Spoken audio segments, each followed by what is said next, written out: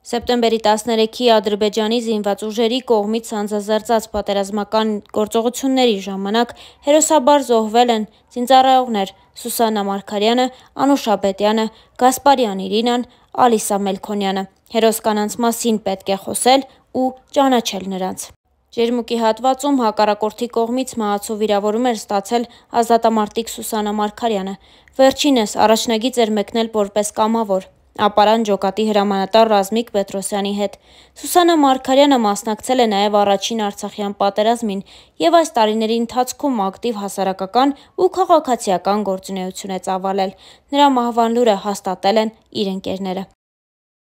Ադրբեջանի կողմից Հայաստանի ինքնիշխան տարածքի դեմ ագրեսիայի հետևանքով զոհվել է նաև պայմանագրային զինծառայող Անուշ Աբետյանը։ 36-ամյա Անուշ Աբետյանը 3 անչափահաս երեխա ուներ՝ 16 տարեկան դուստր, 15 եւ 4 տարեկան որդիներ։ Անուշը ծնունդով Արմավիրի մարզի Հոկտեմբերյան քաղաքի Մրգաշատ գյուղից էր։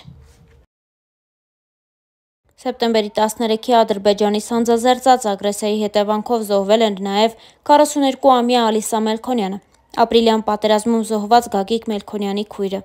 Նա պայմանագրային զինծառայող էր, ծառայում էր Գեղարքունիքի զորամասերից մեկում։ Ալիսան Գեղարքունիքի մարզի Զոլաքար գյուղից էր։ Ծառայության էր անցել 2016 թվականին, եղբոր զոհվելուց հետո։ Ալիսան եւս մեկ եղբայր ունի։ Ադրբեջանի սանձազերծած ագրեսիայի հետևանքով զոհվել էր պայմանագրային զինծառայող բուժքույր Իրինա Գասպարյանը։